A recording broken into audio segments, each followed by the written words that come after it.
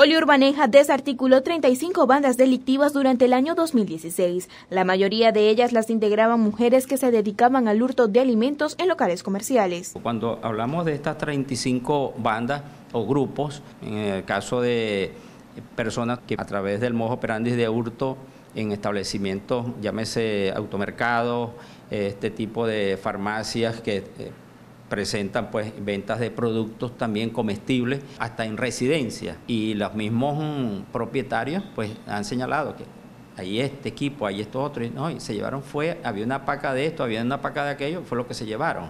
Detalló que de las personas detenidas en estos operativos hay una gran cantidad de mujeres. Del 100%, mire, el 80% son femeninas. El jefe policial también señaló que desde el 2013, cuando recibieron solo dos celulares, no han recibido patrullas, uniformes ni otros equipamientos por parte del Ministerio de Relaciones Interiores, Justicia y Paz. Desde Anzuategui, Marianela Maurera, Notiminuto.